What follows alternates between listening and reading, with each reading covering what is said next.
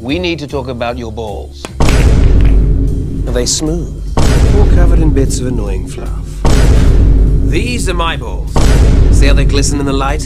Your balls can be like these, but you gotta use the right tools for the job. This? No. This? No. This?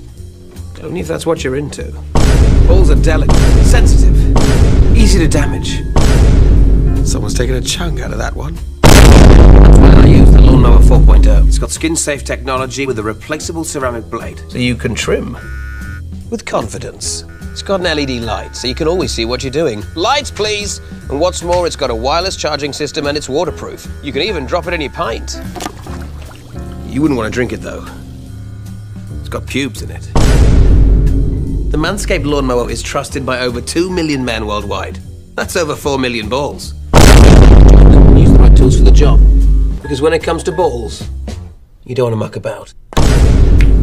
Go to manscaped.com and check out the all new Lawnmower 4.0 and receive free shipping.